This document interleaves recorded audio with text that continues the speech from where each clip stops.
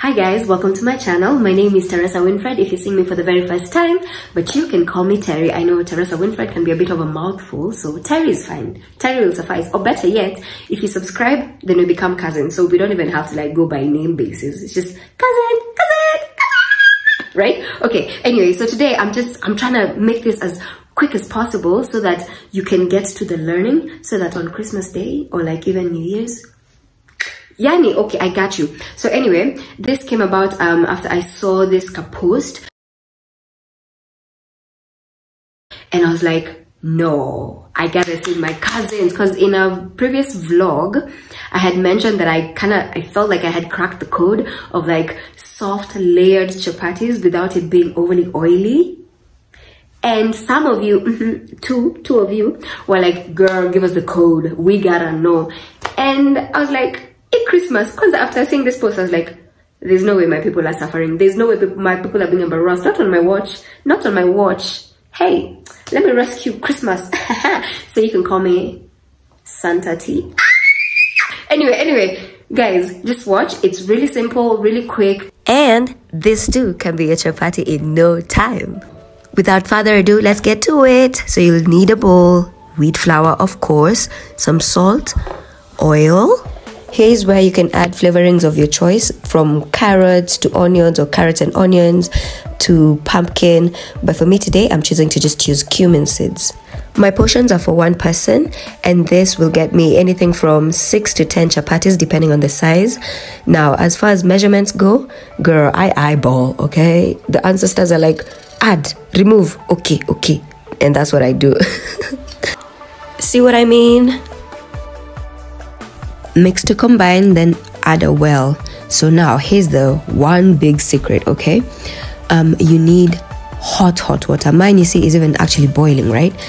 And the thing i've learned with um, using hot water to make chapatis is you'll need very little. You see how you do the quantity do, the ooh, girl i'm sorry. You see the quantities you'd use when uh, making chapati with like maybe room temperatured water now reduce it times I don't know how many. Just keep adding bit by bit until it's combined. At this point, I know it's still dry looking and you might be tempted to add water, but imagine please don't. I want you to see that I didn't add water, so I'm just gonna speed this up, but this is exactly how I ended up kneading it until it came.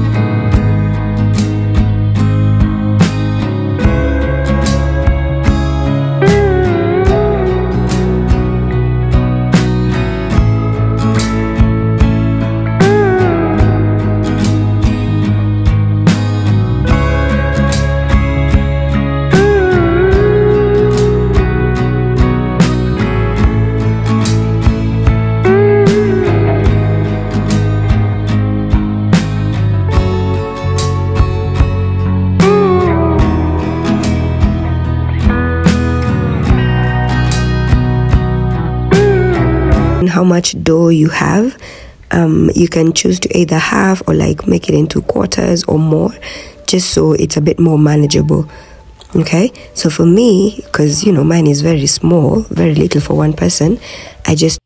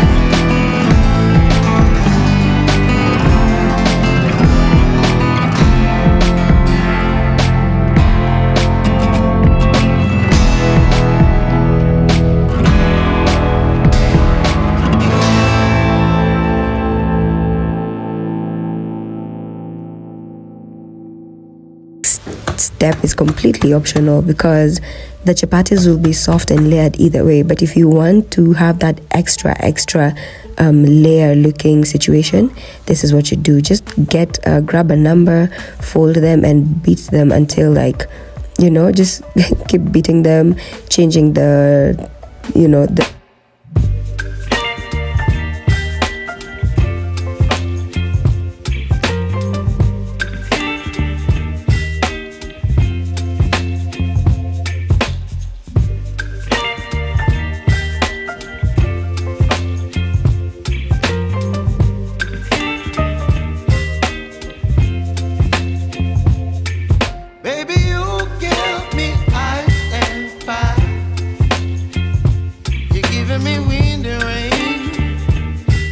my